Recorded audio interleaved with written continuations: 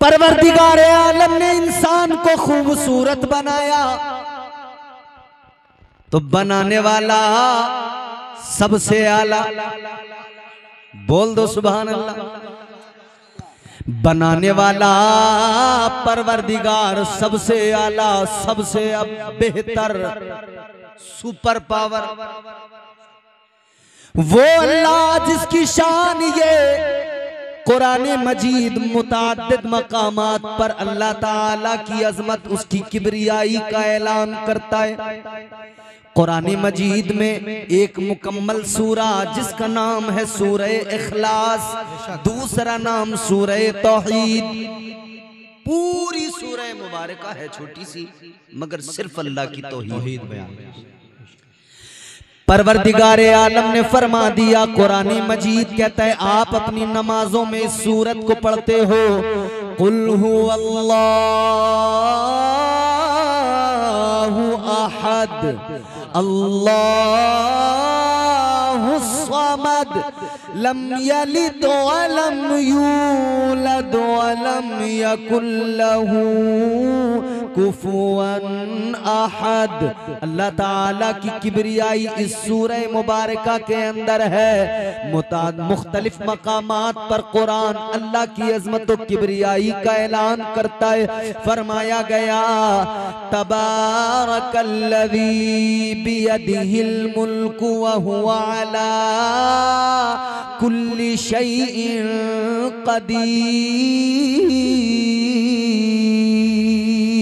कदीर अल्लाह का कुरान कहता है, बड़ी बरकत वाली जात है परवरदिगार की।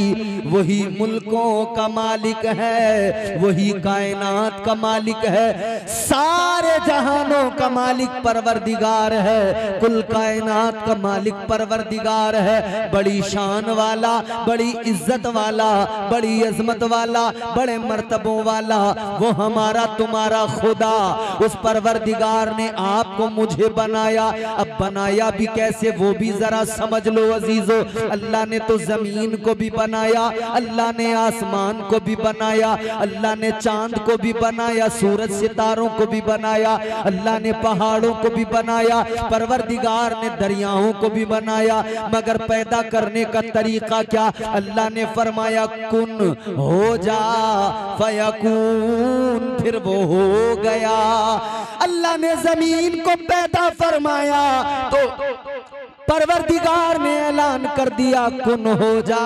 तो फिर ज़मीन हो गई। अल्लाह ने आसमान को पैदा किया। फरमाया कुन हो जा। फिर वो भी हो गया। अल्लाह ने जितनी भी चीज़ों को पैदा किया, फरमाया कुन हो जा। फिर वो मगर जब इंसान को पैदा करने की बारी आई तो फिर इंसान को पैदा करने में अल्लाह ताला ने प्रोसेस थोड़ा तब्दील कर दिया अब कैसे पैदा किया अब तक तो परवरदिगार आलम पैदा कर रहा था अशिया को तो फरमा रहा था कुन हो जा लेकिन अल्लाह ने इंसान को पैदा किया तो फिर अल्लाह ने प्रोसेस तब्दील किया अल्लाह ने फरिश्तों से मिट्टी मंगवाई अब मिट्टी मंगवाई गई मिट्टी को गूंधा गया मिट्टी को तैयार किया गया। मिट्टी मंगवाकर मिट्टी को तैयार करने के बाद में फिर परवरदिगार ने इंसान का मुजस्मा बनाया, वजूद इंसानी तैयार हुआ। हज़रत आदम दुनिया के पहले इंसान, पहले बशर, अबुल बशर को अल्लाह ने पैदा करना था। तो अल्लाह ताला ने पहले मिट्टी से आपका वजूद तैयार किया। फिर उसके बाद में अल्लाह ने वजूद आदम के अंदर रूह को दाखिल फरमाया। अब तक अल्लाह पैदा करता था चीज़ों को। फरमा रहा था कुन हो जा। लेकिन अब हज़रत आदम को पैदा किया जा रहा है। अब अल्लाह ने कुन नहीं फरमाया, बल्कि परवरदिगार ने फरमाया, कुरान बताता है। अल्लाह ने फरमाया, फनफख्तु फीही मिर अब अल्लाह रूह बंदे में डाल रहा है, इंसान में रूह को डाला जा रहा है।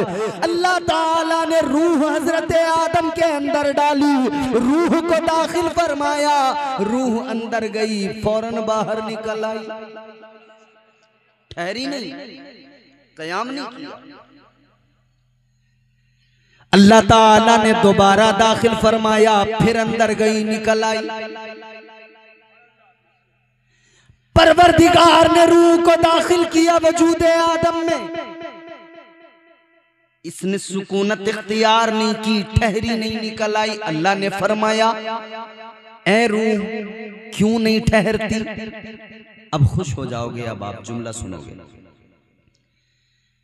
तुझे आदम के वजूद में डाला जा रहा है ठहरती क्यों नहीं है? अल्लाह की बारगाह में रूह ने अर्ज़ किया मौला। ए मेरे परवरदिगार, कैसे कयाम करूँ, कैसे ठहर जाऊँ, इंसान के अंदर अंधेरा है। या अल्लाह, इंसान के वजूद में अंधेरा ही अंधेरा है। अब जरा तवज्जो करना, इंसान है हम और आप। इंसान के वजूद में अंधेरा था। रूह इसके अंदर रुकने को तैयार नहीं थी। तो अल्लाह ने उजाले का इंतज़ाम किया। क्या इंतज़ाम किया? परवरदिगार आलम ने हज़रत आदम के वजूद के अंधेरों को मिटाया। तो अल्लाह ने ये इंतज़ाम किया, तुम्हारे मेरे आका के नूर को हज़रत आदम के वजूद में दाखिल फरमा दिया। नूर मुस्तफ़ा वजूद आदम में गया।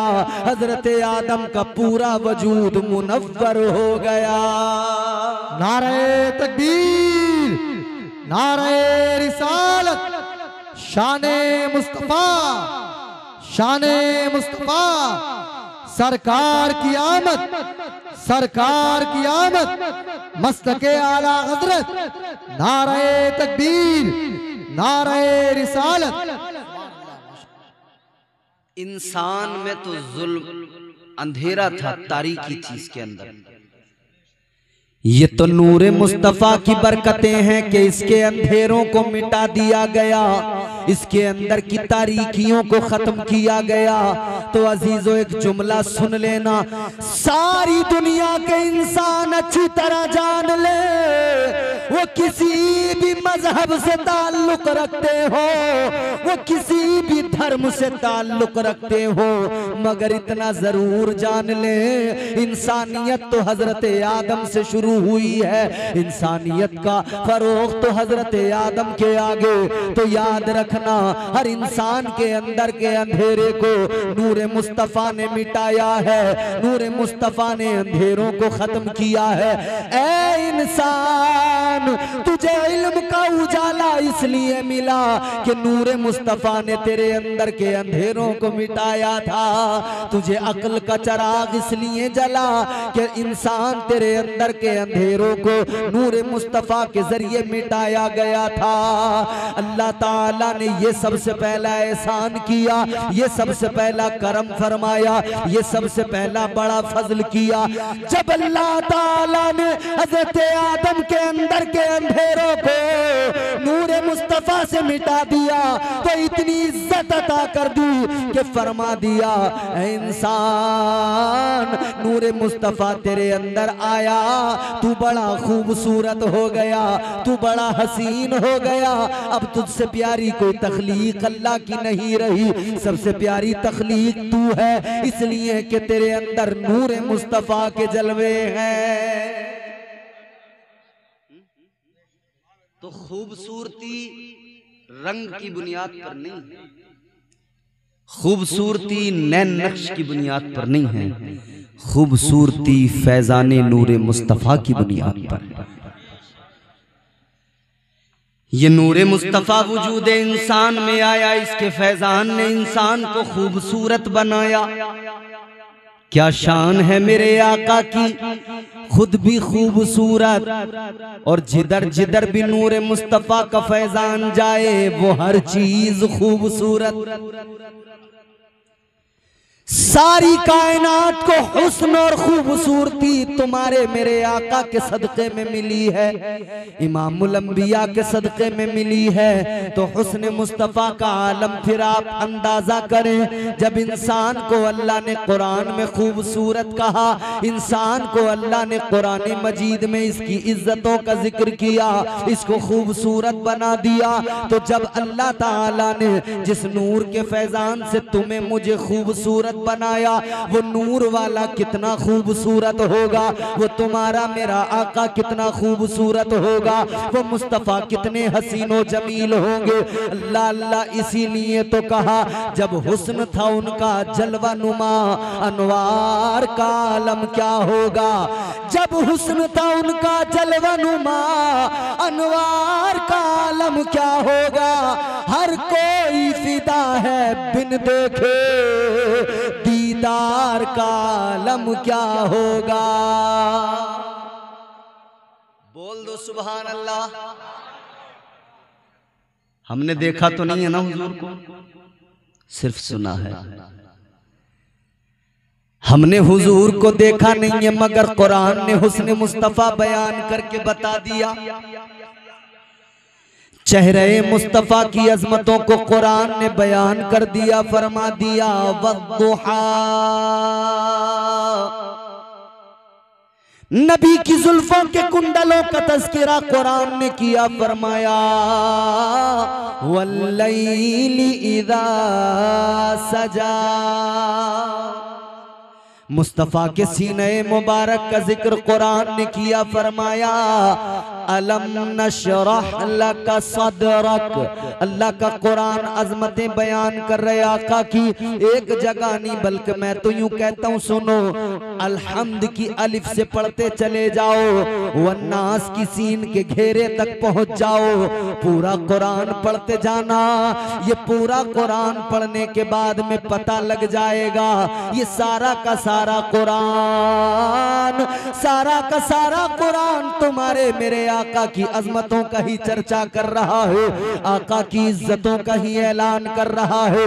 ये सारा कुरान नबी की नात ही तो है, ये सारा कुरान आका की तारीफ़ तोसीफ ही तो है। अजीजान गिरामीउल कद्र, सारा कुरान नबी की अजमतें बयान कर रहा है तो फिर दीवानों को चाहिए, हम भी नबी की अजमतें बयान करें, हम भी आका का तस्करा करें, हम भी अपने प्यारे आका को याद करें और सारे के सारे, हम भी आका के तराने गाएँ। मुस्तफ़ा जाने रहमत की इज्जतों की बात करें, हम भी आका कायनात से प्यार करें। हम भी मदीने वाले मुस्तफ़ा की अजमत के कसीदे पढ़े।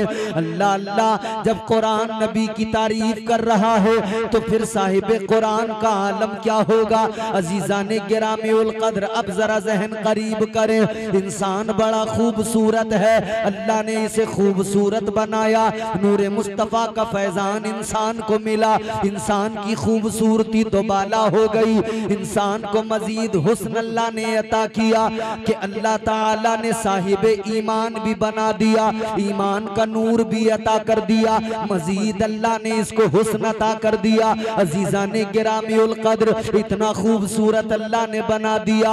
अब इंसान को चाहिए, जब अल्लाह ने इतनी इज्जतों से नवाज़ दिया तो अपनी इज्जतों का ख्याल करे, अपनी अजमतों का ख्याल करे। इज्जतदार आदमी गलत जगह पे कभी नहीं जाता। बोलो। जिसे चार आदमी इज़्ज़त दे, सलाम करें। वो गलत जगह पे जाते हुए घबराता है। कहता है, जी, किसी ने देख लिया, क्या होगा? तो चार आदमी जिसे दुनिया में इज़्ज़त दे, वो गलत जगह पे जाते हुए डरता है। है मुसलमान, तुझे तो इज़्ज़त अल्लाह ने अता की है। तू गलत जगह पे जाते हुए अल्लाह से क्यों नहीं डरता? दुनिया में चार आदमी जिसे इज़्ज़त दे, वो डरता, घबराता है। अगर कहीं गलत जगह पे पकड़ा गया, रुसवाई हो जाएगी। तो मुसलमान तू भी तो अल्लाह से डर। अगर कहीं गलत जगह पे पकड़ा गया, क्या बनेगा तेरा? कब्र भी है, हश्र भी है। इधर भी कब्र के अंदर फरिश्ते आएँगे। उधर हश्र में भी अल्लाह की अदालत में खड़े होना है। जब दुनिया में किसी इंसान को इज़्ज़त मिले तो वो उसकी फ़िक्र करता है। तुझे अल्लाह ने इज़्ज़त दी है तो इंसान तुझे भी उसकी फ़िक्र करनी चाहिए ना?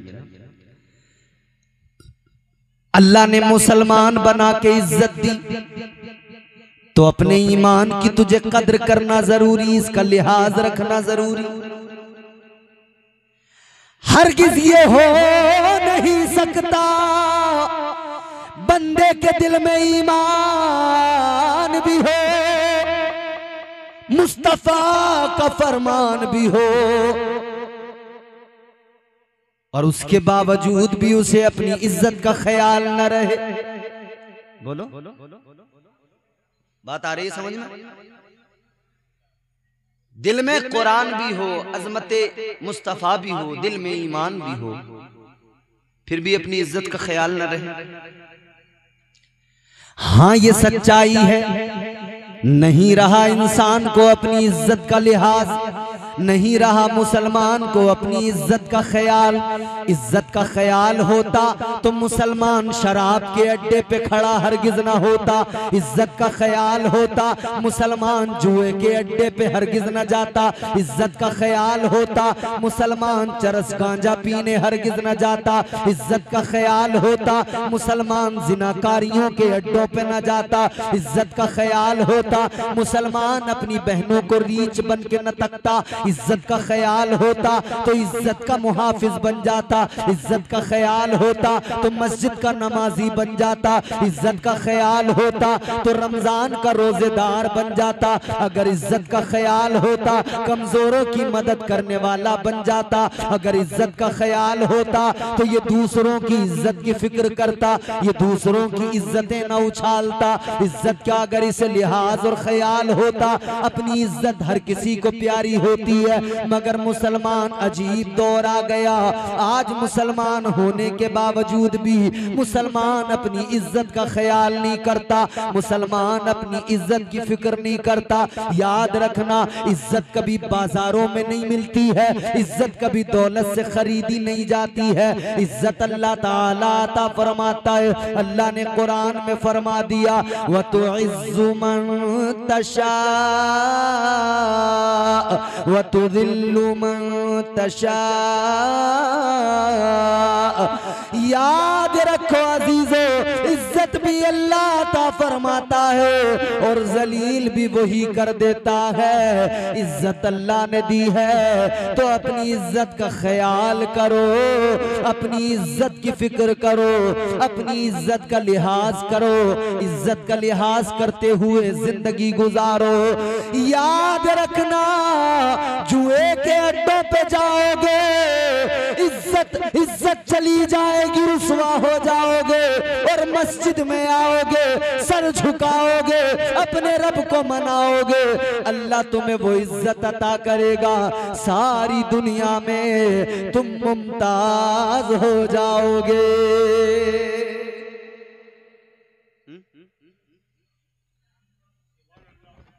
इज़्ज़त, बड़ी प्यारी चीज़, बड़ी प्यारी चीज़। हर इंसान को प्यारी है ए पंचायती, बड़ी देर से पंचायत चला रहे हो तुम लोग। ए, खामोश बैठ। अब सुनो मेरी बात जरा। आप लोगों के दरमियान गुफ्तगु मैंने वो छेड़ी है कि जिसकी ज़रूरत भी हर जगह है ही लेकिन लोग सुनना नहीं चाहते। ऐसी बात है। क्यों नहीं सुनना चाहते? उसकी भी वजह है। हमारे लोग कहते हैं कि ये मौलाना लोग हमें आखिरत आखिरत बताते रहते हैं और दुनिया में हमें सलीफे से जीनी नहीं देते। हुँ? क्या जमाना आ गया? संजीदगी खतरे में है।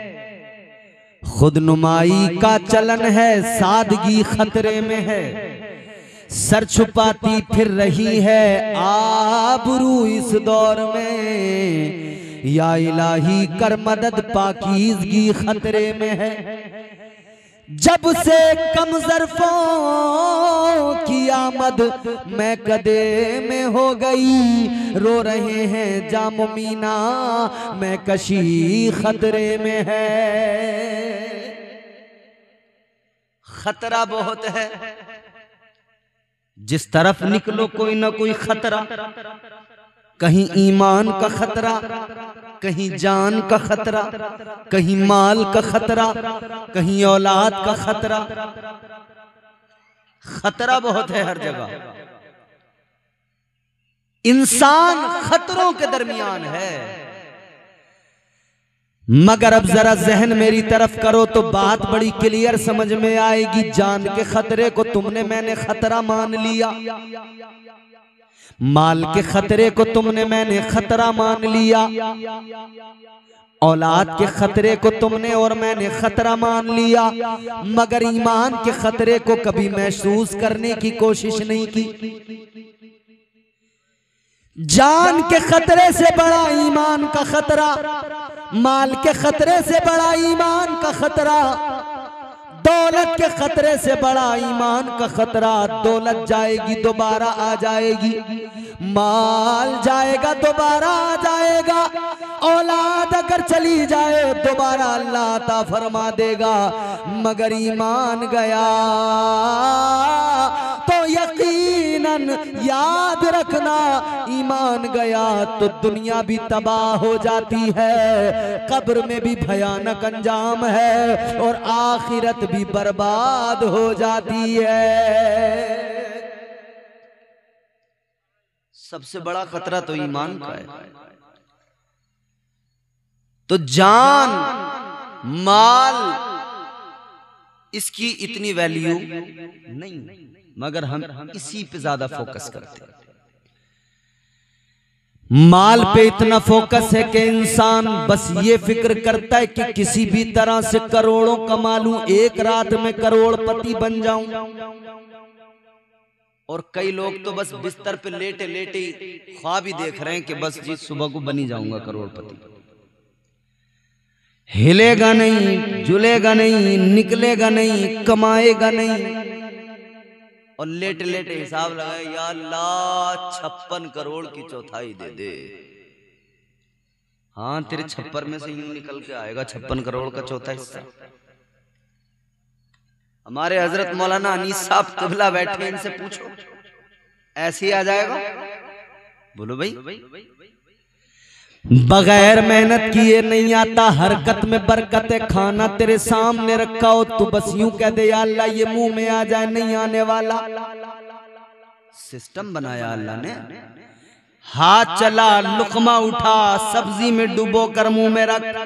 फिर चबा चबा चबा कर खाएगा, तब वो तेरे अंदर पेट में जाएगा, तब वो तेरे अंदर खून बनाएगा।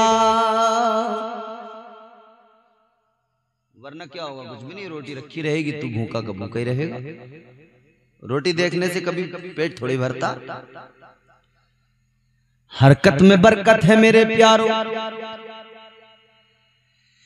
बिस्तर पे लेटकर आलसी बनकर लेटे लेटे करोड़पति बनने के ख्वाब न देखा करो बल्कि नबी ने फरमाया मेहनत किया करो। मेहनत किया करो। अब मेहनत भी एक बात याद रखना कहाँ करनी है ये भी तो समझना है।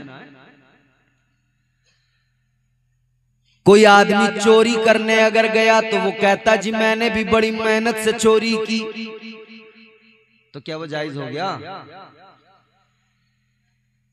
हराम काम में चाहे जितनी मेहनत कर ले सब बेकार।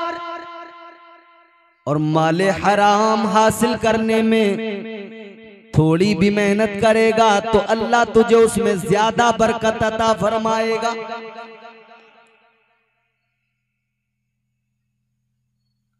कोई अगर ये समझे कि मैं पत्तों में मेहनत कर लूँगा ताश के पत्ते खेल के बाजियाँ लगा के मेहनत करके मोटे पैसे जीत के ले आऊँगा। तो याद रखना अगली बाजी किसी और की भी लग सकती है। और फिर पता नहीं तेरा क्या क्या जा सकता है। अच्छा बड़ी हैरानगी होती है इस दौर में भी ऐसा माहौल है। एक न्यूज़ हमने अभी पीछे एक त्योहार गुजरा है शायद दिवाली या होली। कोई तो त्योहार गुजरा था उसमें न्यूज़ पड़ी थी कि एक शख्स जुए में जब वो बैठा तो वो साहब पैसे हार गया। हाथ में गड़ी थी वो दे दी हार गया और कई चीज़ें हार गया। मकान हार गया तो फिर उसने एक बाजी अपनी बीवी की लगा दी।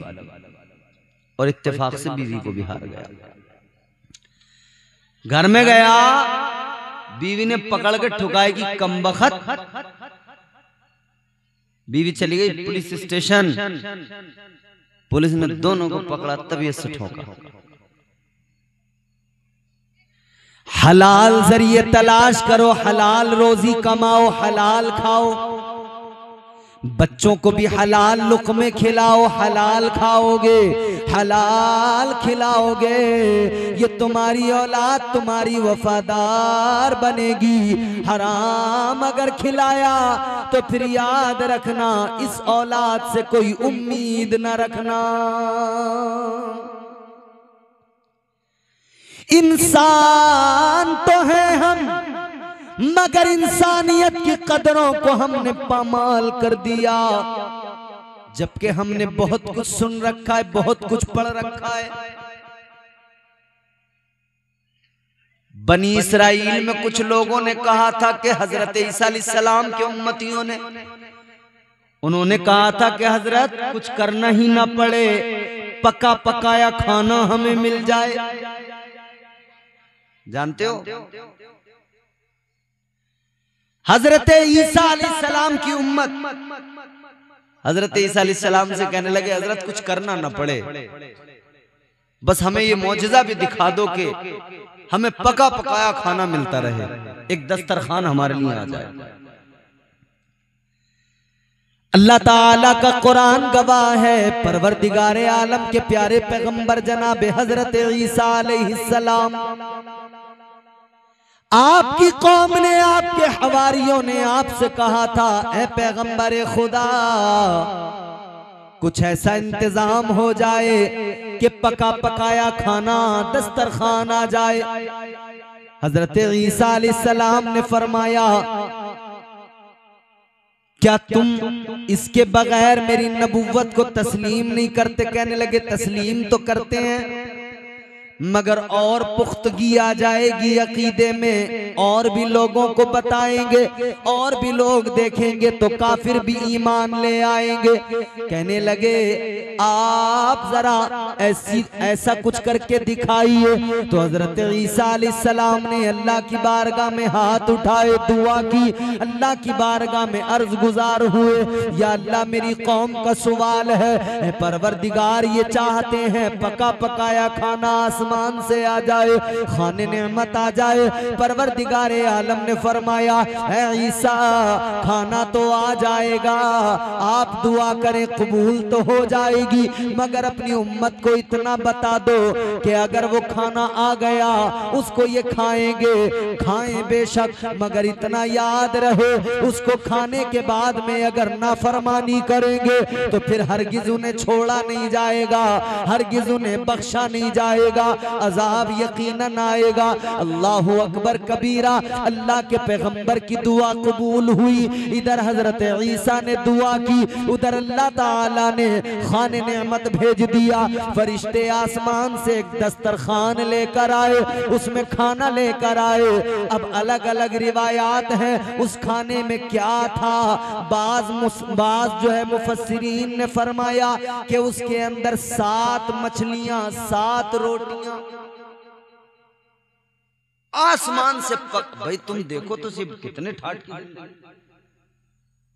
हमारे यहाँ जो लोगों को आज ख्याल आ रहे हैं ना कि भाई मियाँ लेटे लेटे बम मज़े से आ जाए और हम खा लें। अरे भैया, तुमसे पहले वाले इसको ट्राई मार चुके हैं। समझ रहे हो? वो ट्राई मार के देख लिया उन्होंने। तुम्हारे लिए आता नहीं उनके लिए आ भी गया था। आसमान से फरिश्ते दस्तरखान लेकर आए। सात रोटियाँ सात मछलियाँ। अब इसमें अलग अलग रिवायात भी हैं। क्या क्या आया था? अब मैं वो सब अगर आपको बताने लगा एक लंबी बहस के साथ मछलियों से रोगन टपक रहा था। फिर आपको मछलियाँ खाने की ये भी याद आ जाएगी जब मैं उन मछलियों का ज़िक्र कर दूँगा। मगर इतना जान लो, आसमान से पका पकाया, तैयार, बना बनाया, खाना आ गया, अल्लाह ने फरमाया, ए पैगंबर, ए ईसा, अपने हवारियों से, अपनी कौम से फरमा दो, खाएँ, सिर्फ़ खाएँ, कल के लिए उठाकर न रखें, कल के लिए उठाकर न रखें आज हम लोग बड़ी कल कल की फ़िक्र में लगे रहते हैं। कल को बकरा खाएँगे, कल को मुर्गा खाएँगे, कल को मुर्गी खाएँगे, कल बिरयानी बनाएँगे, कल की फ़िक्र करने वालों। हज़रत ईसा सलाम की उम्मत के लिए हुक्म उठा कर न रखना। बस इतना जान लेना, जिस अल्लाह ने आज दिया है, वो मालिक है, आज दे सकता है तो वही परवरदिगार कल भी दे सकता है। आज जिसने दिया है, कल भी वही देगा, कल की फ़िक्र में न लग। ये कल की फ़िक्र ही तो है कि आदमी हर बुरा काम कर रहा है। अल्लाह ताला ने फरमाया, कल के लिए उठा कर न रखना। मगर इंसान की फितरत माने नहीं, कल के लिए भी जुगाड़ लगाया। कहने लगे, कल क्या होगा? हज़रत ईसा ने फरमाया, देखो, आज आया है, कल भी वही अल्लाह देगा। मगर इन्होंने आपस में, इन्होंने कहा, भैया, आज आ गया, क्या भरोसा, कल आया ना आया? अगर कल नहीं आया तो क्या होगा? इतना लजीज खाना है चलो थोड़ा उठा के रख दे। इन्होंने कल के लिए उठा के रखा। अब ये हो गई नाफरमानी। अल्लाह हो गया नाराज़।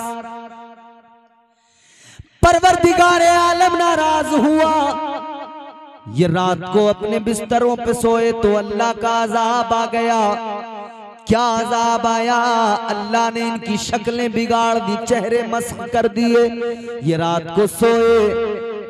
इंसान थे, मगर रात में इनके चेहरे बिगड़ गए। अल्लाह ने किसी को बंदर बनाया, किसी को खिंजीर बना दिया, चेहरे मस्क कर दिए, किसी को बंदर बना दिया, किसी को खिंजीर बना दिया।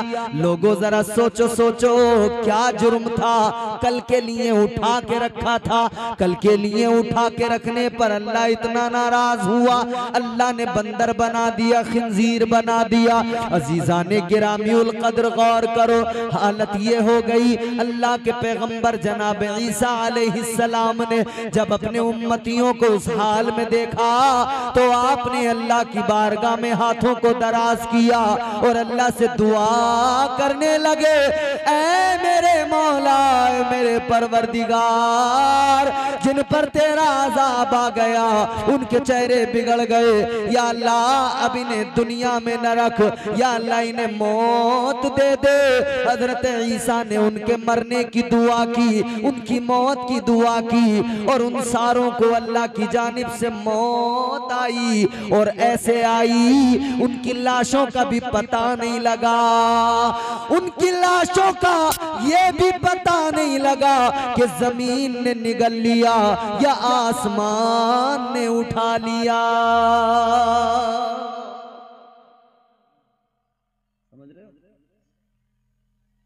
क्या नाफरमानी थी? कल के लिए उठा कर एक नाफरमानी। क्या नाम है इस गाँव का? जागन डांडी डंडिया। ऐ मेरे सुन्नी मुसलमानों अब एक जुमला मेरा जरा सुनना सलीके से दिल की तख्ती पे लिख लेना। एक जुर्म किया सजा कितनी बड़ी? पहले बंदर बने, खिंजीर बने, फिर मौत आ गई और ऐसे कि लाशों का भी पता नहीं लगा। और जरा होश के नाखून लो। और अल्लाह का डर दिलों में पैदा करो। वो परवरदिगार जब एक नाफरमानी पे बंदर बना सकता है तो उससे डरना ज़रूरी है। खौफ करो, शर्म करो। ये तो अल्लाह के नबी, तुम्हारे मेरे आका, इमामुल अंबिया, ताजदार मदीना का सदका है कि अजाब नहीं आया। वरना कभी गिरेबान में झाँक कर देखना। उन्होंने एक नाफरमानी की। यहाँ लाखों नाफरमानियाँ, हज़ारों नाफरमानियाँ हमारा एक पे बस नहीं लाखों ना नाफरमानियाँ। सुबह बिस्तर से उठे। कान में आवाज़ आई थी मस्जिद से। अल्लाह अकबर। अल्लाह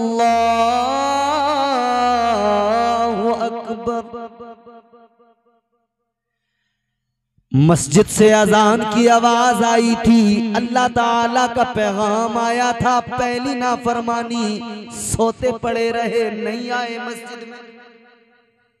है नाफरमानी बोलो। बोलो।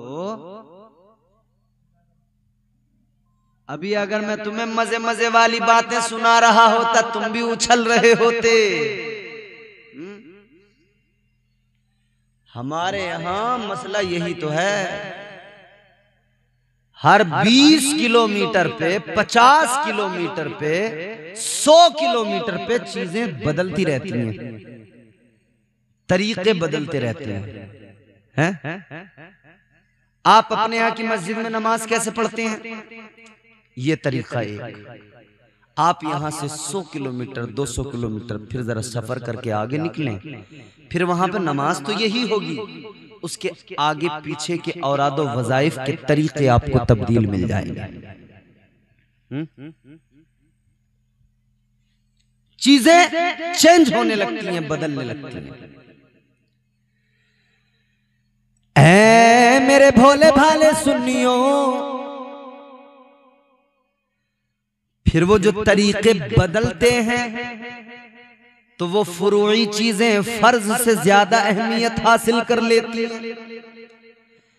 फिर हमारे यहाँ नमाज़ को उतना फोकस नहीं करेंगे जितना बाकी चीज़ों पे तवज्जो होगी। सबसे ज़्यादा ज़रूरी ये होता कि बंदा अल्लाह की बारगाह में सर झुकाता। मगर इसने सर तो नहीं झुकाया। मगर चीज़ें जो फुरूई हैं, ऊपर की चीज़ें हैं, उन पे ज़्यादा ज़ोर दिया। इमाम साहब ने क्या किया, क्या नहीं किया, इस पे ज़्यादा ज़ोर दिया। अच्छा बदकिस्मती देखें हमारी कौम की। सुबह को अजान फजर की हुई। तीन चार बुढ़े मस्जिद में आए। उन्होंने नमाज़ पढ़ ली। इमाम साहब ने अजान पढ़ी। फिर जमात हुई। अच्छा एक दिन इमाम साहब अजान पढ़ने खड़े हुए। उन्होंने अजान पढ़नी शुरू की फजर की और उसमें उनसे भूल से ये रह गया कि जो फजर की अजान में एक जुमला इजाफी है।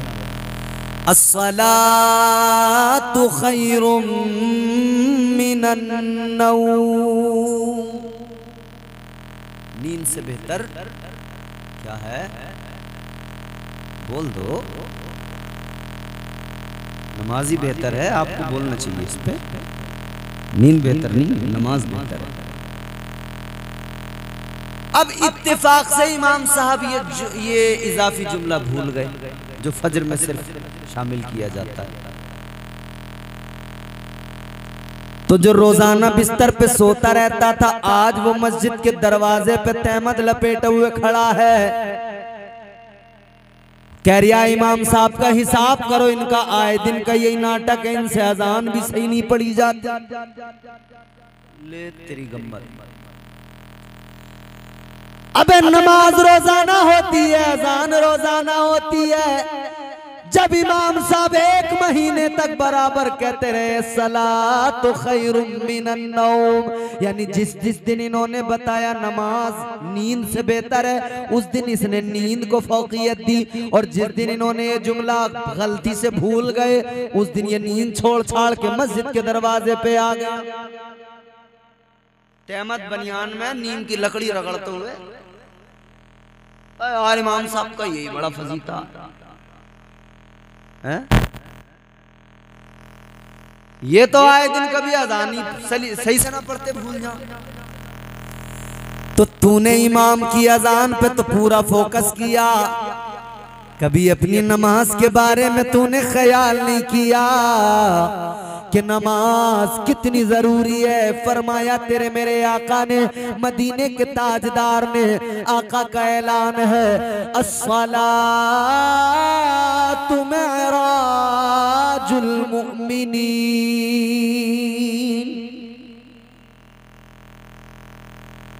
आका ने ऐलान फरमाया, नमाज़ मोमिन की महराज क्या है? अब इस हदीस को सामने रखो हज़रत अली का जुमला सुनो हज़रत अली फरमाते बंदा जब नमाज़ को खड़ा हो तो कैफियत ये होनी चाहिए कि वो अपने खुदा को देख रहा है जब बंदे की कैफियत नमाज़ में ये हो जाए कि वो नमाज़ में अपने रब के जलवों को देखे, बताओ इसी का नाम तो मैराज है। तुम्हारे मेरे आका की महराज, ये के आका जागती आँखों से अरशे आज़म पे जाकर लामका में खुदा के जलवों को देखे। और हमारी आपकी बंदों की महराज, ये उम्मती की महराज, ये कि वो नमाज़ में सर झुकाए और परवरदिगार के जलवे उसे नज़र आ जाए। अच्छा अगर ये नहीं हो सकता तो मौला अली ने आसान किया। आपने फरमाया अगर ये पॉसिबल नहीं है ये मुमकिन नहीं है कि मैं खुदा को देख रहा हूँ तो आसान ये बंदा नमाज़ की नीयत कर ले तो कैफियत ये हो। वो इतना तो मज़बूत ख्याल लेके खड़ा हो जाए कि मेरा रब मुझे देख रहा है। मेरा परवरदिगार मुझे देख रहा है। लेकिन मियाँ ये ख्याल तो जाता रहा हमने तो अभी पिछले दिनों देखा मस्जिद में घूसा चला है तबीयत से। तुमने देखी वो वीडियो? मौलाना मुरादाबाद की तरफ़ पाक बड़े के आसपास की कहीं की वीडियो थी। सोशल मीडिया पर दिल दुखा तकलीफ़ हुई। ए कौम तू तरक्की कैसे कर सकती है? कि जब तू अपनी इबादत गाहों के अंदर आपस में ऐसे लड़े। भाई आप हैरान हो जाएँगे। न्यूज़ चैनल्स दुनिया भर के उसको दिखा रहे थे न्यूज़ को। कितने शर्म की बात। मुसलमान डंडे लेकर बेल्ट लेकर एक दूसरे पे बस तड़ा तड़ तड़ा तड़ मार पीट वो तमाशा मस्जिद के अंदर जिस कौम का हाल ये कि अपने इबादत खानों की कदर न कर सके मुझे पता दुनिया में कौन उस कौम की कदर करेगा। जिस कौम को अपनी इबादत गाहों की कद्र का एहसास न हो वो दुनिया में किसी से उम्मीद न रखे कि कोई मेरी कद्र करेगा। जिस कौम का ये एहसास मर गया हो कि अगर कोई इस्लाह करता हो तो उसे वो गाली की तरह लगती हो बात और कोई फहाशी की बातें करता हो तो उसे उसमें मज़ा आता हो वो कौम सोच ले कि उसका मुस्तकबिल है क्या? हैरानी की बात यह है जिस इंसान को अल्लाह ने इज्जतें अता की। वो भूल गया, मेरा मकाम क्या है? और फिर अल्लाह ताला ने आगे ये भी इंसान को बता दिया, अपने बंदों को बता दिया, और ईमान वालों ईमान वालों तुम्हें और मुझे बता दिया। अल्लाह ताला ने तुम्हें और मुझे ईमान वालों को बताया। कुरान मजीद अल्लाह ने फरमाया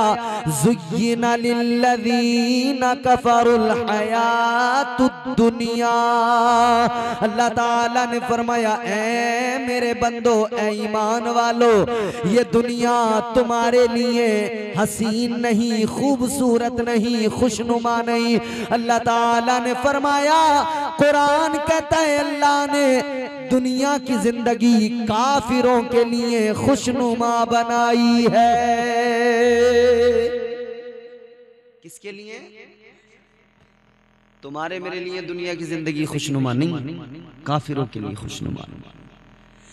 अल्लाह के नबी ने फरमाया तुम्हारे मेरे आका ने फरमाया ये दुनिया मोमिन के लिए कैद खाना है और काफिर के लिए जन्नत है तो तेरे लिए ये जन्नत बनी ही नहीं। क्यों इस दुनिया को अपनी जन्नत बनाने में लगा है? ये कैद खाना है कैदी बन के ज़िंदगी गुजार ले। उधर जन्नत तेरा इंतज़ार कर रही है। तेरी मंजिल तुझे पुकार रही है। है। मुसलमान तुझे तरीका मुस्तफ़ा का मिल गया। शरीयत मुस्तफ़ा की मिल गई इस शरीयत को अपना ले और जरा फ़िक्र कर ले, होश के नाखून ले, ज़िंदगी को कायदे करीने से गुजार ले। अल्लाह अल्लाह मैं अर्ज़ कर रहा था, एक नाफरमानी की बुनियाद पर अल्लाह ताला ने हज़रत ईसा सलाम की उम्मत पर अजाब भेजा। हम तो हज़ारों हज़ारों नाफरमानियाँ करते हैं। बोलो करते हैं कि नहीं करते? अब तो शैतान पकड़ पकड़ के लेके जाएगा एक एक को यहाँ से।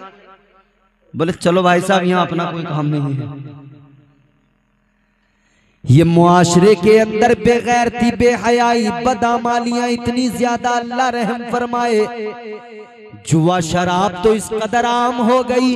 जुए के अड्डों पे जाकर देखो, गैरत आएगी, शर्म आएगी। कोई अकबर खड़ा है, कोई असगर खड़ा है, कोई नजाकत हुसैन, कोई शराफत हुसैन, कोई मोहम्मद अली खड़ा है, कोई मोहम्मद उमर खड़ा है। ये क्या हो गया मेरी कौम के जवानों? अरे डरो अल्लाह से, खौफ करो अल्लाह का और दुआ किया करो परवरदिगार से। या अल्लाह, हमें तौफीक देने का माल की और हमारी ज़िंदगी नेक अमाल करते हुए खैर आफियत से गुजर जाए। या अल्लाह खातिमा बिल खैर हो जाए। लोगों, फ़िक्र किया करो, एक दिन मरना है, मौत कभी भी आ सकती है। बस इतना होश कर लो, वो दिन जिस दिन हमें मौत आए, वो वक्त जिस वक्त हमें मौत आए, वो लम्हा जिस लम्हे हमें मौत आए, वो लम्हा ऐसा ना हो कि हम किसी गलत जगह पे खड़े हो, मौत आए, ऐसा हरगिज ना हो कि हम जुए के अड्डे पे बैठे ताश के पत्ते खेल रहे हो। जब हमें मौत आए, वो दिन ऐसा ना हो कि हम लोग कहीं शराब के अड्डे पे बैठे शराब पी रहे हो। याद रखना, अल्लाह का खौफ इतना दिल में पैदा कर लेना। जान लो अजीजो, बस इतनी दुआ किया करो अल्लाह से। या अल्लाह, जब मुझे मौत आए तो इस हाल में आए, सर मेरा सजदे में हो। और जिस्म से जान निकलती हो। ये दुआ किया करो अल्लाह से। काश दिल की ये हसरत काश दिल की ये हसरत, काश दिल की ये हसरत, कम से कम निकल जाए। काश दिल की ये हसरत, काश दिल की ये हसरत कम से कम निकल जाए। कम से कम निकल जाए। मेरा सर हो, सबका सर हो, मेरा सर हो सजदे में। और दम निकल जाए। नारे तकबीर नारे रिसालत नारे गौसियत मसल के आला हज़रत नारे तकबीर। काश दिल की ये हसरत कम से कम निकल जाए। कम से कम निकल जा मेरा सर हो सजदे में और दम निकल जाए। मेरा सर हो, सबका सर हो सजदे में। ये दुआ किया करो अल्लाह से। या अल्लाह मौत आए तो इस हाल में कि हम तेरी इबादत कर रहे हैं। ये दुआ किया करो अल्लाह ताला से मौला। मौत आए तो इस हाल में आए कि हम कुरान की तिलावत कर रहे हैं।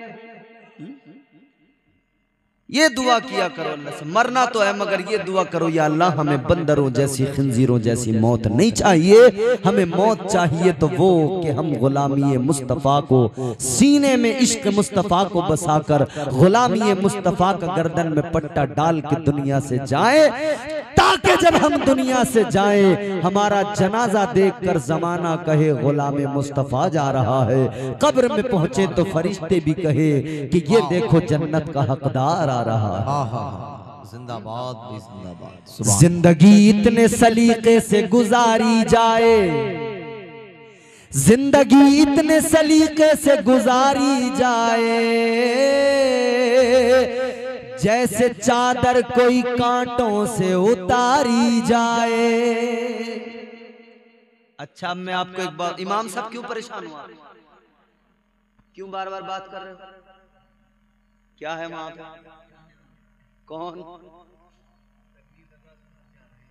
वो चले जाएँगे। जाने वाले चले जाएँगे क्योंकि बंदा दुनिया में आया ही इसलिए है कि उसे एक दिन जाना है। हजरात मुल्क हिंदुस्तान का एक अजीम शान लहजा इज़्ज़त मोहतरम नईम अख्तर साहब किबला के पैकर में नूर पर हाजिर हो रहा है। नारों से इस्तकबाल कर लें नारे तकबीर।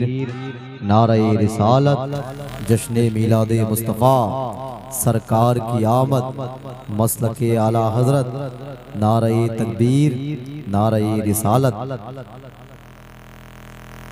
इमाम साहब, असल में आज मेज़बान है ना तो बेचारों की फ़िक्र इस चीज़ की कोई भी हमारा मेहमान नाराज़ होके न जाए, खुश होके जाए, सबको वक्त से रुखसत करना है। मेज़बान थोड़ा सा रहता है गड़बड़ में, लेकिन ये तो बेचारे सबकी फ़िक्र में है। आप बस अपनी फ़िक्र कर मेरी बात सुन लो। और मेरी बात को तुम अहमियत दो या मत दो, मुझे कोई फ़र्क पड़ता नहीं। मगर जो अल्लाह और उसके रसूल का पैगाम है, उसको दिल में बसा लो और अपनी फ़िक्र कर लो। तो मैंने सबसे पहली बात आपको क्या बताई कि बंदा अल्लाह से डरता रहे, मस्जिद के सामने बैठे हो तो आज ये भी अहद करना कि हमें अल्लाह तौफीक दे कि हम पाँचों वक्त की नमाजें अदा करें। बोलो इंशाअल्लाह नमाजी बनना बहुत ज़रूरी है। समझ रहे देखो हज करना सिर्फ़ अमीर आदमी पे फ़र्ज़ है। जक़ात देना सिर्फ़ अमीर आदमी पे फ़र्ज़ है। है। कि नहीं? मगर दो चीज़ें ऐसी हैं अमीर हो या गरीब हो। एक तो अल्लाह की तौहीद का ऐलान करना नबी की रिसालत को मानना। ये अमीर, गरीब, छोटा, बड़ा, गोरा, काला, हर किस्म का इंसान जब दायरा इस्लाम में आएगा तो उसे पढ़ना होगा, ला इलाहा इल्लल्लाहु मुहम्मदुर रसूलुल्लाह। पहली चीज़। और दूसरी कॉमन चीज़ क्या है? अमीर हो गरीब हो काला हो गोरा हो कैसा भी हो। एक ही सफ में खड़े हो गए महमूद अयाज। न कोई बंदा रहा और न कोई बंदा नवाज़। नमाज़ ज़रूरी है। ये है अल्लाह का फरमान नमाजी हो जा। अच्छा बेहतरीन आवाज़ अंदाज के मालिक ये तशरीफ़ ले आए। ना शरीफ और बेहतरीन अंदाज तो इनका आपको सुनना है। ब हम तो यूँ समझ लो कि जैसा भी है, सुना ही रहे हैं आप। ये है अल्लाह का फरमान, नमाजी हो जा। ये है अल्लाह का फरमान नमाजी हो जा। गर है कुरान पे ईमान नमाजी हो जा। गर है कुरान पे ईमान नमाजी हो जा। ये है अल्लाह का फरमान नमाजी हो जा। सुभान अल्लाह दिल में रखता है तू अरमान न जाने कितने। बड़ी ख्वाहिशें हैं दिल में बड़े अरमान। पैसा आ जाए, दौलत आ जाए, पैरों पे खड़ा हो जाऊँ, मकान बन जाए, फिर अच्छी जगह से शादी हो जाए, जहेज मिल जाए, कार मिल जाए, बंगला मिल जाए, सब मिल जाए। हज़ारों अरमान। दिल में रखता है तू अरमान न जाने कितने। पूरे हो जाएँगे अरमान नमाजी हो जा वाह वाह वाह। पूरे हो जाएँगे अरमान। नमाजी हो जा। नमाजी हो जा। ये है अल्लाह का फरमान नमाजी हो जा। अल्लाह माशाअल्लाह और बेनमाजी क्या है? कुछ भी ना शैतान की बातों में आ गया शैतान जैसे कह रहा है वैसा कर रहा है। बेनमाजी है निगाहों में मुती शैतान। बेनमाजी है निगाहों में मुती शैतान। बेनमाजी है, निगाहों में मुती शैतान। छोड़ दे छोड़ दे सीरत शैतान, नमाजी हो जा। छोड़ दे सीरत शैतान, नमाजी हो जा। ये है अल्लाह का फरमान, नमाजी हो जा। ये दो चीज़ें कॉमन है तौहीद और रिसालत का ऐलान यानी ईमान लाना। और दूसरी चीज़ कॉमन है नमाज़। हर अमीर गरीब गोरा काला सब पे फ़र्ज़ है। बाकी मालदार हो गया तो हज करेगा। ज़िंदगी में एक बार कर लिया तो फ़र्ज़ अदा हो गया। मालदार है तो जक़ात हर साल अदा करनी पड़ेगी। तो बताइए ईमानदारी से हम हम एक जानब तो अपने आप को अक्लमंद कहते हैं जी शूर कहते हैं। दूसरी जानब हमें हक बात जरा हजम नहीं होती और मैंने जिस तरह भी अर्ज़ किया ना कि पहले तुमसे पहले वो ट्राई मार चुके हैं। बैठे बिठाए, मिलता रहे, ये उन्होंने ट्राई करके देख लिया। अच्छा एक और चीज़ उन्होंने ट्राई की। वो आजकल हमारी कौम भी ट्राई कर रही है। इमाम अगर मस्जिद में खड़ा हो के हक बोले, भले इस इमाम को नहीं छोड़ेंगे। हमारे हो रहा कोई सदर साहब, मस्जिद के कोई खजानची साहब, कोई मुतवली साहब अल्लाह माफ़ फरमाए, मैंने बड़े बड़े मस्जिदों के सदर और हाजी और काजी और बड़े बड़े अब हाजी और वो लोग देख लिए, काम उनका देखा तो पता लगा सूद ब्याज का काम कर रहा है। अल्लाह। सूद खा रहे और बने हुए बिल्कुल कड़क कुर्ता पजामा, ऊँची टोपी, हाजी जी। दूर से जो देख रहा, हाजी जी, अस्सलाम वालेकुम। और हाजी अल्लाह ज़िंदा माले हराम खा रहा है ज़िंदा माले हराम। और जानते हो सूद खाने वाले का अंजाम क्या है? जानते हो? ताजदारे मदीना वाली ये कायनात मुस्तफ़ा जाने रहमत ने फरमाया, जब मैं मेराज को गया, आका फरमाते, मैंने दोजख के अंदर कुछ लोग देखे। उनके पेट इतने बड़े बड़े, इतने बड़े बड़े जैसे लोगों के मकान होते हैं। आका ने फरमाया उनके पेटों के अंदर जहरीले सांप और बिच्छू।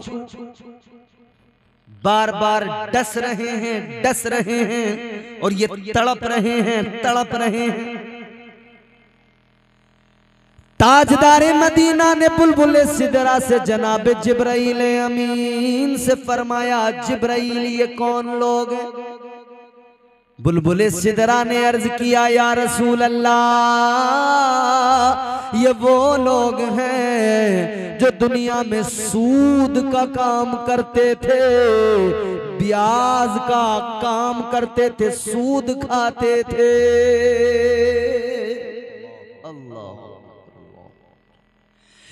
ओ लोगो, डरो अल्लाह से और जहन्नम के अजाब से डरो। तुम हाजी बन गए, फिर भी तुमने सूद खाना नहीं छोड़ा। तुम बड़े अहदों पे पहुँच गए, तुम्हें फ़िक्र नहीं हुई, माले हराम खाते चले गए। और एक काम और आम हो गया, दलाली। दलाल बड़े पैदा हो रहे हैं चप्पे चप्पे पे दलाल।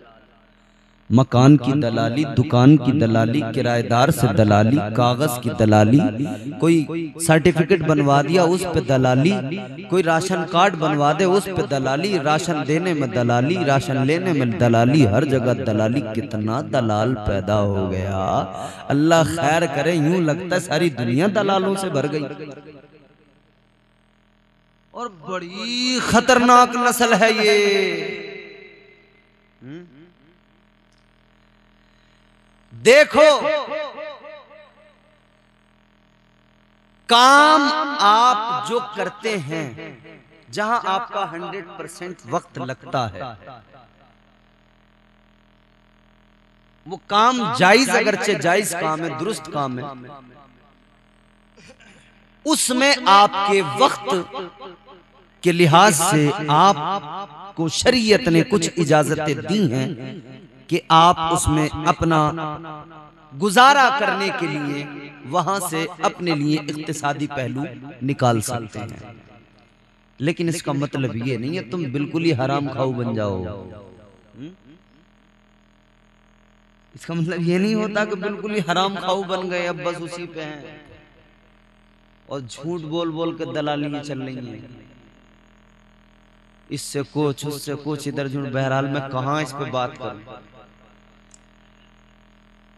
बस एक ही उल्लू काफ़ी है। बर्बाद गुलिस्तान करने को हर शाख पे उल्लू बैठा है। अंजाम गुलिस्तान क्या होगा? बोलो। यहाँ तो चप्पे चप्पे पे बैठा है। हाल अल्लाह रहम करे होगा क्या? तो पहली चीज़ तो ये हो गई कि आज हमने उन चीज़ों पे अच्छा तो मैं क्या कह रहा था? सुने। हमारे लोग ट्राई मार रहे हैं जो पहले लोग मार चुके। मौलवी अगर हक बात कह दे खैर नहीं उस मौलवी। की इमाम हक बात कह दे खैर नहीं उस इमाम की। मतलब हक बात इतनी कड़वी इतनी कड़वी इतनी कड़वी लगने लगी कि अल्लाह रहम फरमाए, भाई जानी दुश्मन बन जाते लोग। अच्छा साहब, आपसे पहले भी ये ट्राई कर लिया बनी इसराइल ने। अल्लाह के पैगंबर आते थे, हक बात बताते थे, वो जानी दुश्मन बन जाते थे। यही तो होता था। हज़रत ईसा ने अपनी कौम से कहा था, ए मेरे हवारियो, कौन है जो मेरी मदद करेगा? कौन है जो मुझ पर और मेरे रब पर ईमान लाएगा? कितने? सात आए सात। सात आए। उन्होंने कहा नहनु अंसारुल्लाह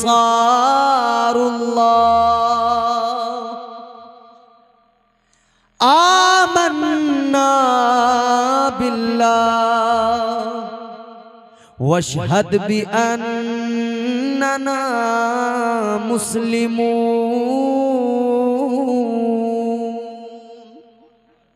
बोल सात आदमी आ गए। इन सात ने आकर कहा, हज़रत, हम ईमान लाते हैं। हम, आपकी नुसरत के लिए, मदद के लिए तैयार है, ईमान लाते हैं। इन सात लोगों ने, चचा, मेरी तरफ़ देखो, पीछे कुछ नहीं है, मैं इधर बैठा हूँ। सात लोगों ने कहा "ऐ अल्लाह के पैगंबर, आप गवाही दे दीजिए कि हम मुसलमान हैं। दुनिया में कुछ और तो चुप बैठे रहो। इश्क नबी की शम्मा दिलों में रकम करें। इन औरतों से कह दो, जरा शोर कम करें। इन पे हमारे कई लोग हैं जो पीएचडी किए हुए हैं वो इनकी तमाम सिफात से वाकिफ हैं वो बयान करते हैं। मेरी बात आप जल्दी से सुन लें वक्त भी हो चला है। हज़रत की ना तो मनकबत मुझे भी बैठ के इंशाल्लाह यहीं पे सुननी है। जाऊँगा नहीं सुन के जाऊँगा हज़रत को। तो हक बात बड़ी कर लगी कितने आए साथ? बाकी सबके सब दुश्मन कट्टर। जानी दुश्मन बन गए। जैसे मेरे आका ने फरान की चोटी पे खड़े होके कहा था या अय्युहन्नासु क़ूलू ला इलाहा इल्लल्लाह।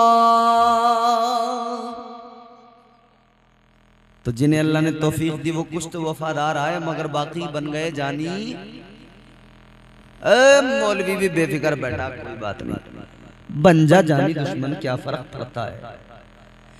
फानूस बन के जिसकी हिफाजत हवा करे, वो शम्मा क्या बुझे जिसे रोशन खुदा करे? इमाम को इमाम किसी घस खुदे जाहिल ने नहीं बनाया। इसे इमाम मुस्तफ़ा के इल्म ने बनाया है। तो कोई क्या कर सकता है? अल्लाह के नबी के इल्म के वारिस है ना? तो उस इल्म की विरासत के शहनशाह है। उसके वारिस हैं, उस इल्म मुस्तफ़ा के वारिस हैं। तो फिर अल्लाह ने इज़्ज़त ये दी कि मुसल्ला इमामत अता कर दिया। सात लोग हज़रत ईसा की तरफदारी में निकले, बाकी बन गए जानी दुश्मन। अब दुश्मनों ने की प्लानिंग हज़रत ईसा दीन की तबलीग कर रहे हैं। अच्छा एक बात मैं जो बता रहा था, उन्होंने क्या कहा कि हज़रत ईसा से कि आप गवाही दीजिए, हम हैं मुसलमान। हमारे यहाँ कई लफंडर, जाहिल जाहिल उन्हें आता नहीं कुछ जाता नहीं। और वो बकवास करते हैं कि जी इस्लाम 1400 साल पहले आया। मुसलमान उससे पहले था ही नहीं। कई लोग एंटीना हिला हिला के बोलते हैं इस्लाम 1400 साल पहले उससे पहले मुसलमान कोई नहीं। अरे तुम कहते हो चौदह सौ साल पहले से। बस ये मुसलमान है उससे पहले नहीं। तो ये हज़रत ईसा के जो उम्मती और उनके हवारी कह रहे थे ऐ अल्लाह के पैगंबर आप गवाही दीजिए हम मुसलमान हैं। तो पता लग गया हज़रत ईसा के उम्मती भी मुसलमान थे। जो हक पर रहे और जो गलत हो गए फिर उनकी तो छोड़ दीजिए। सब साहिब ईमान थे मुसलमान। थे इन्होंने दुश्मनी के इस तरह से दुश्मनी की कि अब इन्होंने मशवरा किया कहने लगे ईसा सलाम को कत्ल करना है मारना है माजल्ला। प्लानिंग शुरू कर दी। इन्होंने प्लानिंग शुरू की तो कहने लगे। कि एक आदमी तैयार करो वो जाएगा वो कत्ल करेगा। एक आदमी तैयार हुआ तारीख में उसका नाम भी मौजूद है। गालिबन उसका नाम ततियानूस है। वो बोला कि साहब मैं कर दूँगा इस काम को। हज़रत ईसा सलाम को कत्ल ही तो करना है मैं कर दूँगा। अल्लाह अकबर। अब ये साहब चला। मगर फिर वही बात अल्लाह ताला मुहाफिज जिसका हो उसे कौन मार सकता है बोलो? आज भी कई लफंडर बोलते हैं, मार देंगे मार देंगे। मैंने कहा, तेरी औकात क्या? तेरी आगे दस पुश्ते भी आकर ज़ोर लगाए, मार नहीं पाएँगी, मिटा नहीं पाएँगी। क्यों इसलिए कि दुनिया में हम तेरे रहमो, करम पे ज़िंदा नहीं? हम तो अल्लाह के रहमो, करम पे ज़िंदा है। जब तक अल्लाह ना चाहे कोई मार सकता है। नहीं अल मुख्तसर ये कि वो आया, तैयार होके कि अब मैं मारूँगा जाके, मैं कत्ल करूँगा। अल्लाह ताला ने हज़रत ईसा सलाम के लिए एक बदली को भेजा। वो आपको उड़ा के ले गई आसमान पर। अल्लाह की हिफाजत देखिए, कितनी ज़बरदस्त हिफाजत। हज़रत मरियम हज़रत ईसाम की माँ। आपने जब ये मंदिर देखा फ़िक्र मंदिर बेटे मुझे छोड़ के कहा जा रहे हो? हज़रत ईसाम ने अर्ज़ किया अम्मा अब हमारी आपकी मुलाकात बरोज क़यामत होगी। बदली वो उड़ा के लेके चली आसमानों की तरफ़। अल्लाह ने आसमानों पर उठा लिया हज़रत ईसा मगर अब देखें यहाँ पर। कि जो आया था आपको कत्ल करने ये जो अंदर गया था हज़रत ईसा को तो अल्लाह ने उठा लिया। अब लोग बाहर इंतज़ार कर रहे थे कि आते ही होगा कत्ल करके आते ही होगा बस। जब बहुत देर हो गई ये लौट के नहीं आया। तो ये लोग बोले चल के देखो तो सही मामला हुआ क्या? दोनों में से कोई तो आता कोई नहीं आया। तो अब ये जब सारे लोग अंदर आए तो इन्हें गुस्सा तो था ही। हज़रत ईसीम से दुश्मनी बुग्ज अदावत।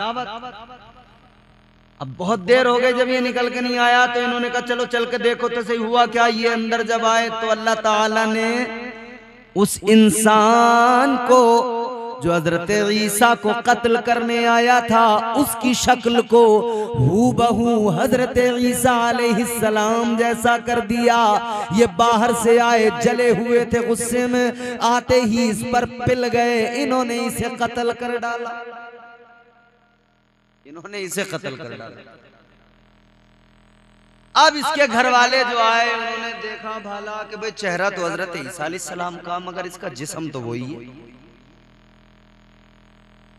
इसके घर वालों ने कहा कि जी तुमने हमारा आदमी मार दिया। उन्होंने कहा, हमने तुम्हारा आदमी नहीं मारा, हमने तो ईसा सलाम को मारा। तो दो ग्रुप बने, अब ये खुद लड़ने लगे। इनमें खूब जंगो जदल लड़ाई चली। तो आज तक एक ग्रुप मानता है कि ईसा सलाम सूली पर चढ़ गए। एक ग्रुप का ये मानना है कि वो साहब, ये जो क्रॉस का निशान है ना इनका सलीब। ये यही तो कहते हैं कि आप जो है चढ़ गए तख्तेदार की फांसी पे जबकि हकीकत ये हमारा अकीदा क्या है? हमें कुरान से अकीदा मिला मुस्तफ़ा की बारगाह से मिला कि अल्लाह ताला ने उठा लिया। और और, और कुर्ब क़यामत हज़रत ईसीम ज़मीन पर तशरीफ़ लाएँगे। फिर आप खिंजीर को और दज्जाल को कत्ल करेंगे। आप फिर दुनिया में अदल कायम करेंगे। तकरीबन सात साल तक आप दुनिया में रहेंगे। उसके बाद में फिर आप दुनिया से हयात जाहिरी से पर्दा फरमाएँगे, रुखसत होंगे। अर्ज़ करने का मतलब ये, जब भी कोई हक बात करता है, लोग उसके जानी दुश्मन बन जाते हैं, उससे नफरत। क्योंकि शैतान से लोग बड़े राज़ी हैं। हक बात बड़ी कड़वी लगती है, बड़ा गुस्सा आता है हक बात सुनकर। मगर इतना याद रखना, ये ओलामा है, ये हमेशा नबी की शरीयत पेश करते रहेंगे, हक बताते रहेंगे, परवाह नहीं है हमें, जमाना सारा खिलाफ हो जाए। क्योंकि हम तो इतना जानते हैं, मैं आईना हूँ, दिखाऊँगा दाग चेहरे के, जिसे खराब लगे सामने से हट जाए। आईने के सामने जाओगे, जैसे हो वैसे ही नज़र आएगा। जो हो वही दिखेगा। आईना दाग धब्बे ज़रूर दिखाता है। उलमा की ज़िम्मेदारी है कौम की गलतियाँ, कौम की खामियाँ, कौम की गलत आदतों को उनके सामने रखना और उस पर उनकी इसलाह करना और अल्लाह से और जहन्नम के अजाब से डराना। तो दो चीज़ें हमारे मुआशरे में, एक तो ये कि जुआ, एक ये कि शराब। ये बहुत खतरनाक आई इन दो चीज़ों ने बहुत सारे। अच्छा शराब तो उम्मुल खबाइस है ही। तमाम खराबियों की माँ है, जड़ है। यहाँ से फिर तमाम खराबियाँ शुरू होती हैं। आदमी जब शराब पीता है तो जुआ भी खेलता है, शराब पीता है, जिनाकारी भी करता है, शराब पीता है, नमाजें भी शराब पी के तो हर बुरा काम कर लेता है। हर बुरा काम शराब पी के करता है। तो ए, ए, हमेशा याद रहे ये काम किसके? शैतान के अल्लाह का कुरान है। परवरदिगारे आलम ने फरमाया इन्नमल खमरु वल मैसिरु वल अंसाब वल अज़लाम। वल अज़लाम रिजुसुम मिन अमलि शैतान।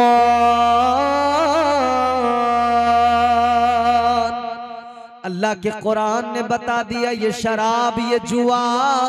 ए मोमिन, तेरे काम नहीं, ये शैतान के काम है। अब फैसला तुझे करना है। तू शैतान के काम करेगा, या मर्ज़ी रहमान वाले काम करेगा। राज़ी कर ले बंदे अपने मौला को। राज़ी कर ले बंदे अपने आका को। ए मुसलमान है इंसान अल्लाह ने तुझे इसलिए पैदा किया था कि तू उसकी बारगाह में सर झुकाए इबादत करे। अपने आप को जान ले अपने आप को समझ ले। इंसानियत समझ में आ गई तो फिर सब कुछ समझ में आ जाएगा। अल्लाह तौफीक दे के हम अल्लाह से डरते रहें और हमेशा हुजूर की शरीयत पे अमल करते रहें, बुराइयों से बचें। दौरान गुफ्तु मुझसे बतकाज बशरीत जो गलतियाँ हुई हूँ, अल्लाह मुआफ़ फरमाए, ज़िंदगी रही फिर कभी मुलाकात होगी।